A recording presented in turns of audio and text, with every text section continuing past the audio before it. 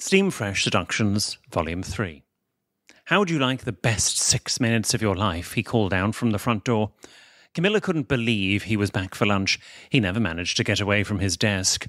She'd heard the familiar sound of his key in the lock. Sean slipped off his jacket and threw it onto the banister.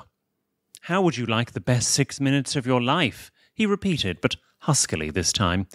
Well, Camilla whispered, turning from the glistening worktop into his arms. What did you have in mind? She looked up into his eyes quizzically. I mean, he said, staring into her eyes, let's do this.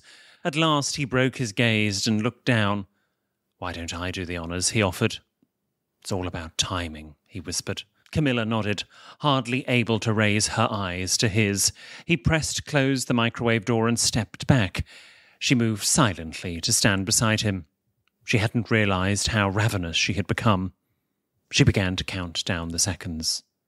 At last. Camilla pushed him aside and reached behind the door. She could feel the heat emanating. Camilla ripped the top off and allowed the contents to tumble freely. Birds Eye Steamfresh Mediterranean vegetable pasta. Her breathing sped up to match the pacing beat of her heart. You've really pulled it out the bag, he sighed. Goodness, that's steamy, she replied.